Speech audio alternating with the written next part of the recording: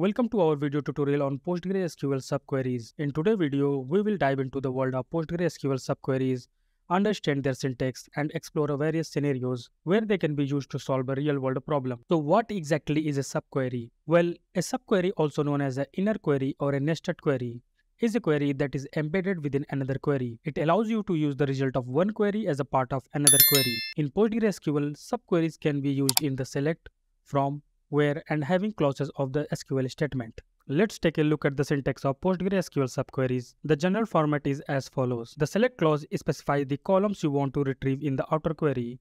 The from clause specifies the table from which you want to retrieve the data. The where clause includes a condition that compares a column in the outer query with the result of the subquery, which is enclosed in parentheses and follows the in keyword. Let's dive into an example to understand this better. Suppose we have two tables, orders and customers. Our goal is to retrieve the detail of customers who have placed an order with the total value greater than $500. Here is how you can achieve that using a subquery in the where clause. In this code, the subquery retrieves the customer IDs from the orders table where the total value is greater than $500. The outer query then uses these customer IDs to retrieve the corresponding customer name from the customer table. The output of this query is a list of customers' names who have placed the orders with the total value greater than $500. Now move to the next example, subquery in the from clause. Imagine we have an employees table with various columns including employee ID, first name, last name, and department ID.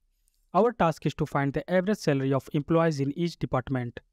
We can accomplish this by using a subquery in the from clause like this. In this code, the subquery retrieves the department ID and salary from the employees table. The outer query treats this subquery as a temporary table and named subquery and calculates the average salary per department using the average function. The final result is then grouped by the department ID. The output of this code is a table with two columns, department ID and the average salary displaying the average salary for each department. Lastly, let's explore an example that involves a subquery in the select clause. Consider a product table with columns like a product name and unit price. Our objective is to retrieve the product names along with the count of customer who have purchased each product. Here is the code how we can achieve that. In this code, the subquery calculates the count of distinct customers IDs from the orders table for each product. The outer query retrieves the product name from the products table and include the result of subquery as a column named customer count. The output of this query is the table with two columns, product name and customer count, displaying the product name along with the count of customer who have purchased each product.